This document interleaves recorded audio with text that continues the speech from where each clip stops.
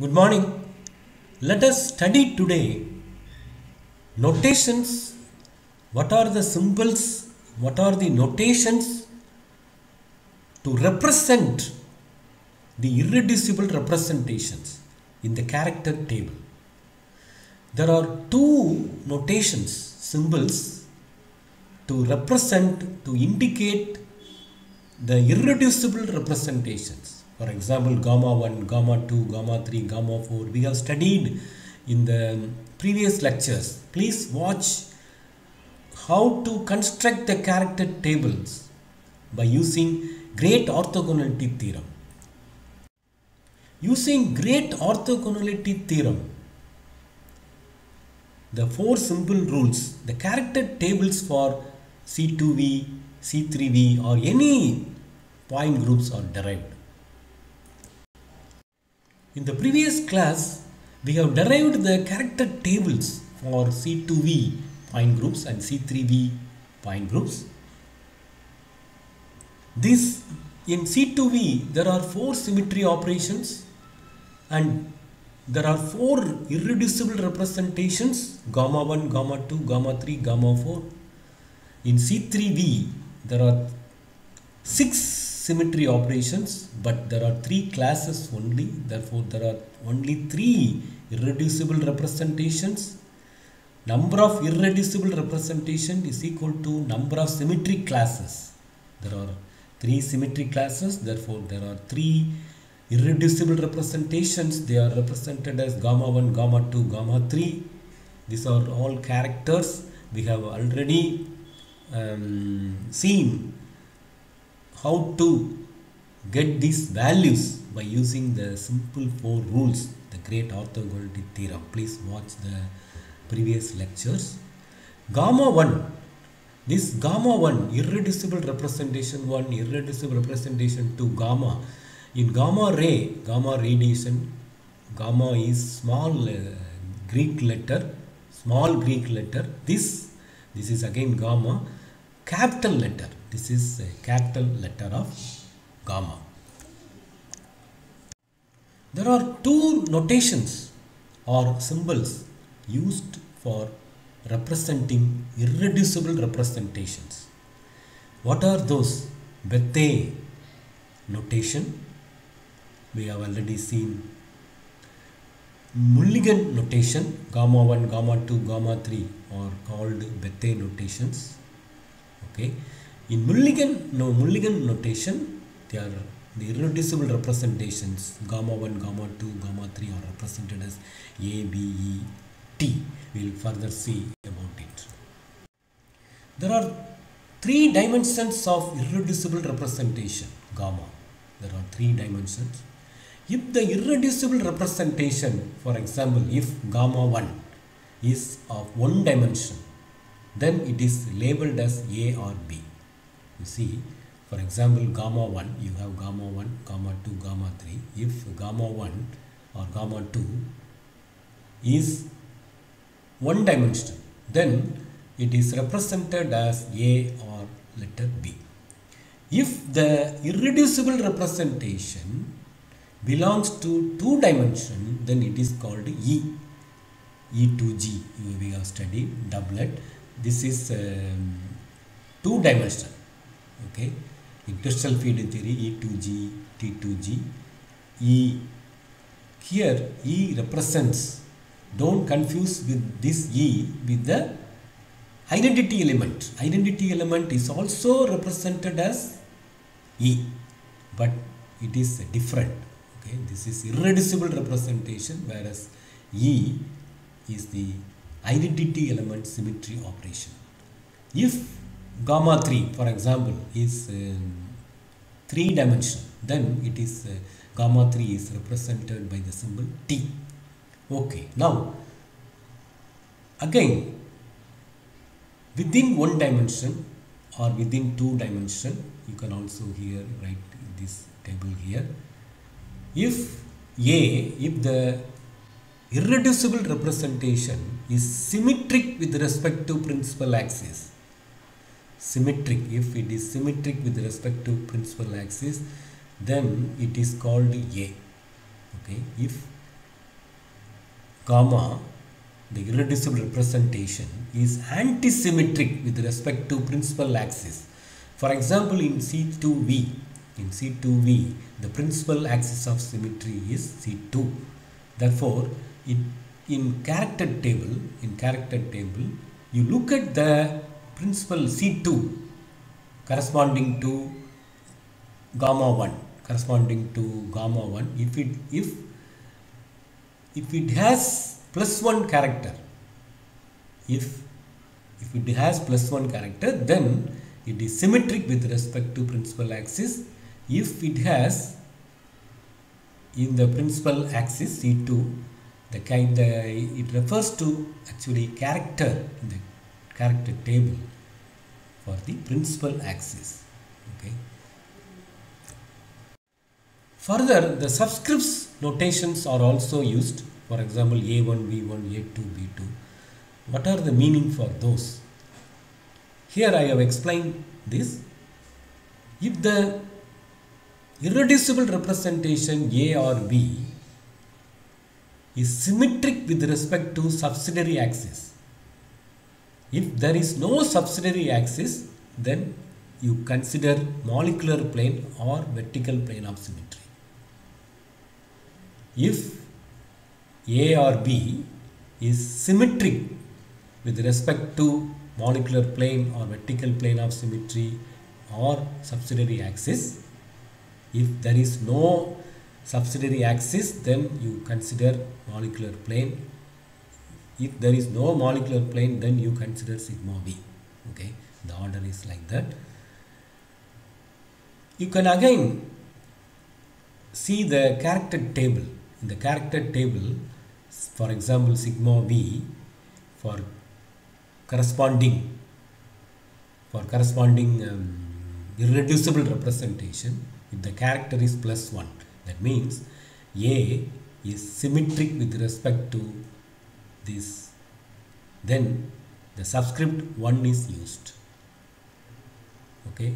If it is a then a1 if it is b then it is b1 if the irreducible representation is antisymmetric please write down. If the irreducible representation a or b is antisymmetric with respect to subsidiary axis or molecular plane or sigma b then the subscript 2 is used. A2 b2 in the character table in the character table how do you find out antisymmetric? How do you find out symmetric? In the character table minus 1 if it has minus 1 character in the subsidiary axis or molecular plane sigma b then the irreducible representation is antisymmetric with respect to subsidiary axis. For example in c6 um, if you have c6 then you will have c3 as subsidiary axis okay? In Mulliken in Mulliken notation prime double primes are used. In Mulliken notation prime double primes are used. For example e e e prime e double prime a b b prime b double prime. Okay? I have given uh, here for um, a for example a you can also use e here or you can use b here. Okay? If the reduce irreducible representation if the irreducible representation a is symmetric with respect to horizontal plane of symmetry horizontal sigma h horizontal plane of symmetry then prime is used. In character table there will be plus 1 value. There will be plus 1 value for sigma h. Sigma h symmetry operation will be there for a for irreducible representation. If plus 1 is there then a prime is used. If a is antisymmetric if the irreducible representation is antisymmetric with respect to sigma h then the matrix the character value will be minus 1 therefore a double prime is used Another notation is G and U subscripts are used. G and U subscripts are used. For example, A or B or E, etc. T or U, T. If A or B is symmetric with respect to center of inversion, inversion symmetry, then G subscript is used. G means gerade. In character table plus 1, if it has plus 1, if the character is plus 1 in the center of inversion, then A is symmetric with respect to I. If the character is minus 1 in the character table, then it is antisymmetric. A is antisymmetric, then ungerade, antisymmetric with respect to I. Let us now explain with the examples C2V and C3V. This is the character table we have obtained earlier we have obtained. In this Bethe notation, Bethe symbols are used. Gamma 1, gamma 2, gamma 3, gamma 4. Bethe symbols are used. And for C3V, similarly C3V, gamma 1, gamma 2, gamma 3, this is the character table in terms of Bethe notation. This is in Mulliken notation. So how to find, how to label this, how to label. For example, ga, uh, gamma 1, irreducible representation, one dimension, 1, 1, 1, 1, therefore this is A or B.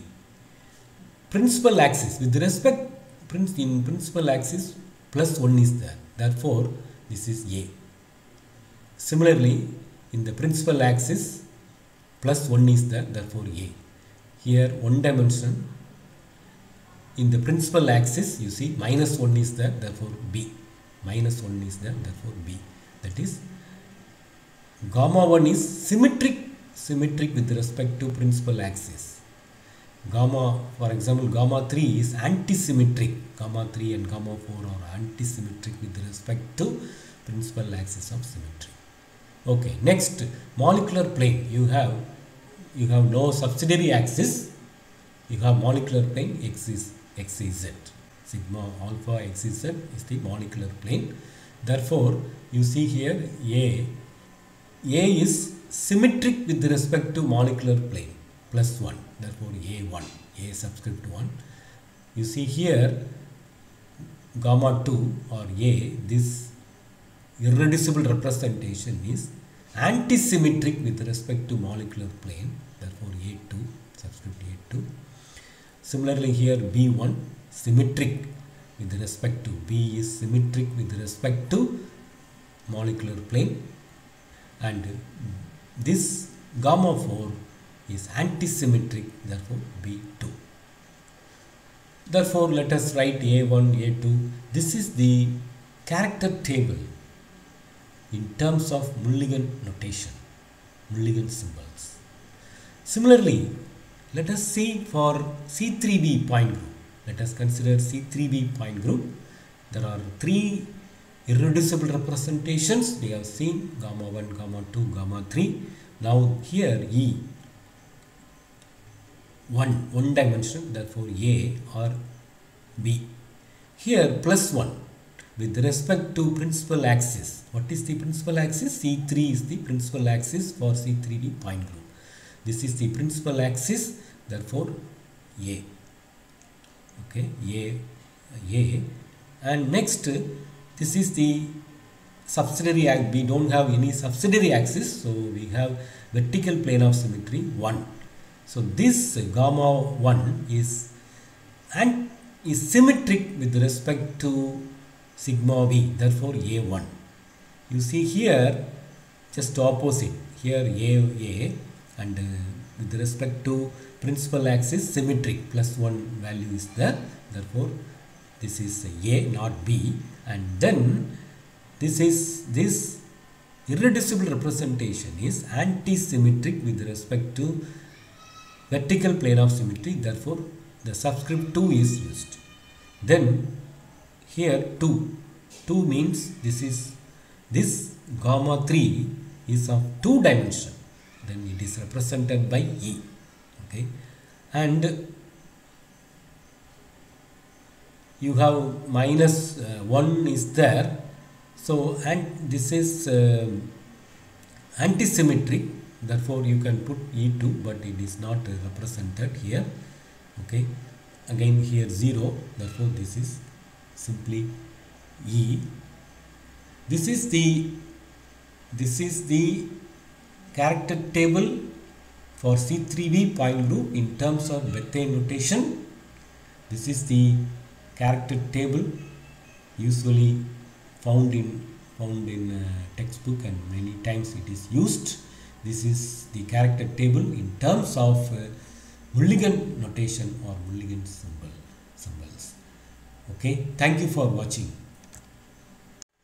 This is the overall character table with all the values are known for C2V point groups and C3V point group. For ammonia and water okay. Now in the next class we will study about Mulliken notation.